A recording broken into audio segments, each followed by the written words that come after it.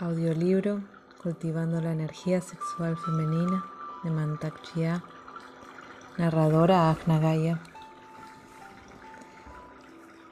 Audio número 9, parte B. Desplazamiento de la energía hacia arriba por la espina dorsal en la segunda estación, el sacro, primer punto de transformación de energía. Además de tener la facultad de retener la energía sexual, el sacro ayuda también a transformarla la primera estación de energía de fuerza vital. 1. Paso de la energía hacia el sacro.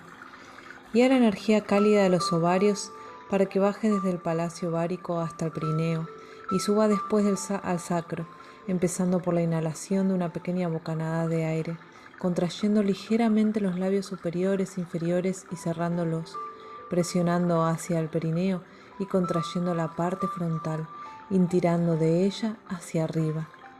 Descansa un momento, conteniendo la respiración. Inhala en pequeñas bocanadas, cierra la vagina suavemente y contén la energía de los ovarios en la parte frontal del perineo. Date cuenta de cómo fluye el chinchi hacia este punto.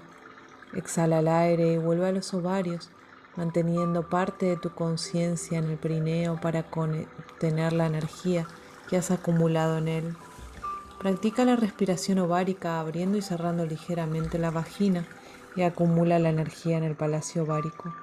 Cuando pienses que has acumulado suficiente energía ovárica, inhala y cierra la vagina, tirando hacia abajo, hacia la zona del perineo, y contrae, la región frontal del perineo y tira de ella hacia arriba para hacer que pase la energía a esta zona.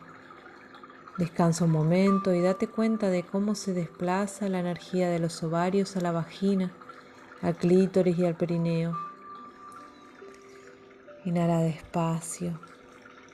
Tira hacia arriba de la parte intermedia del perineo y al mismo tiempo tira de la parte posterior hacia el coxis, hacia el extremo de la espina dorsal. 2. Activación de la bomba sacra.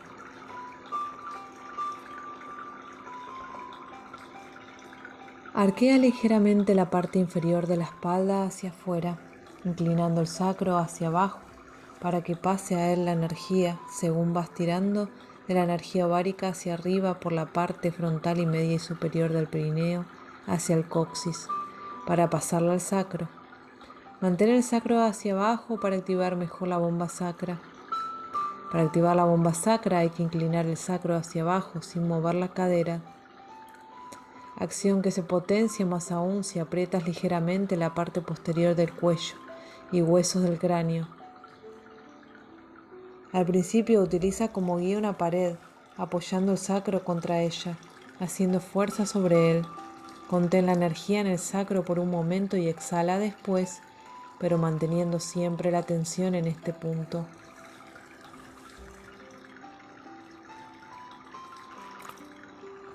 3. Apertura del hiato sacro.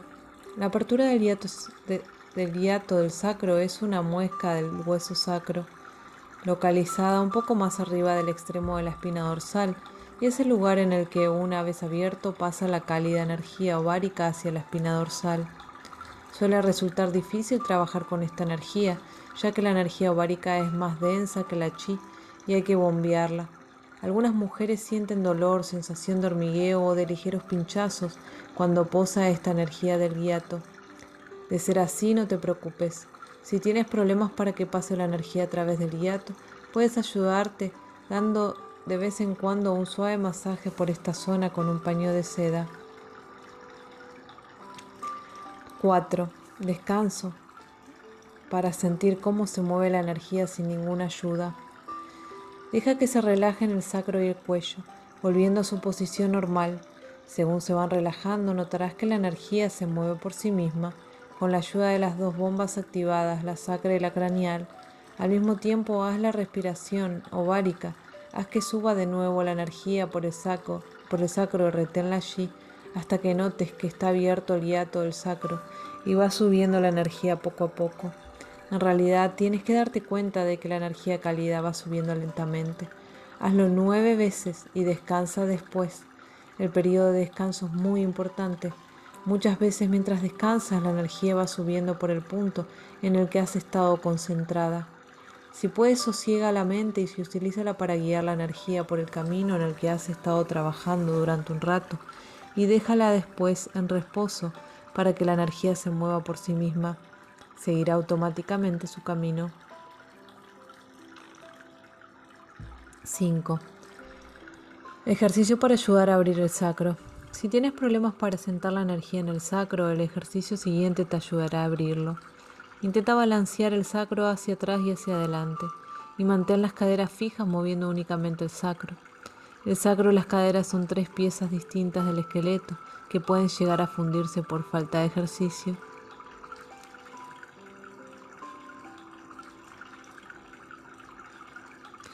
Sujeta las caderas con las dos manos e intenta balancear el sacro. Al principio resulta difícil de hacer, pero al cabo de un tiempo irás separando poco a poco las caderas del sacro. También puedes pedirle a una amiga que te ponga una mano en el sacro y la otra en la cadera, para ver si es la cadera o el sacro lo que estás moviendo. Después de este ejercicio, quédate inmóvil y observa el efecto del bombeo. 6. El sacro ayuda a convertir la energía sexual bruta en energía de fuerza vital. Los maestros taoístas descubrieron que el sacro tiene la facultad de transformar la energía sexual en energía de fuerza vital, que es más fácil de aceptar para los órganos y las glándulas. Por consiguiente, la mujer que siga esta práctica ha de ser consciente del estado de la energía que entra en la parte intermedia del cuerpo. Algunas personas lo hacen tirando hacia arriba, solo de la parte intermedia del perineo, haciendo que la energía bruta de los ovarios se dispare hacia arriba por la parte intermedia del cuerpo y se queden los órganos y las glándulas. Si no están acostumbrados a manejar este tipo de energía sexual bruta, los órganos y las glándulas sufren trastornos como indigestión, calentamiento, sobre todo del hígado, dolor de riñones y espalda y lo peor de todo, congestión cardíaca. Estos y otros síntomas se conocen con el nombre de síndrome de Kundalini y se producen porque la mujer no está bastante abierta para canalizar esta energía sexual bruta antes de entrar en los órganos vitales. Este fenómeno se habla en los libros titulados Cuantida, Psicótico Trascendental de Lee Sandia y Stalking the Wild Pendulum de Isaac Bentov. En estos libros hay ejemplos de muchas personas que sufren la incapacidad para controlar la energía que se produce. La energía que tienen en el corazón o en la cabeza pueden ser demasiado tosca o demasiado caliente para estos órganos cuyos componentes podrían reaccionar con alegría a esta energía. Sin embargo, los síntomas desaparecieron tan pronto como los conocieron y descubrieron la conexión de la lengua con paladar durante la meditación de órbita microscósmica. Esta conexión permite que fluya la energía subiendo por la espina dorsal a través de las estaciones principales para convertirse en energía de fuerza vital y bajar al ombligo. Muchas no saben cómo evitar el problema del exceso de energía sexual bruta, porque nunca han aprendido a canalizar bien la energía para que vuelva a bajar. Cuando ya has practicado la respiración ovárica y has tenido la experiencia de la circulación y la transformación de la energía sexual, tus órganos empezarán a adaptarse y a soportar la energía sexual en bruto de los ovarios. Esta energía se puede transformar después directamente y refinarse en cualquier parte del cuerpo que la requiera sin que surjan problemas.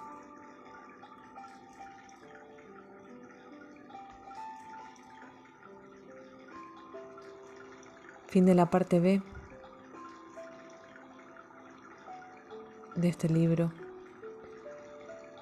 cultivando la energía sexual femenina de Mantak Chia, narradora Nagaya.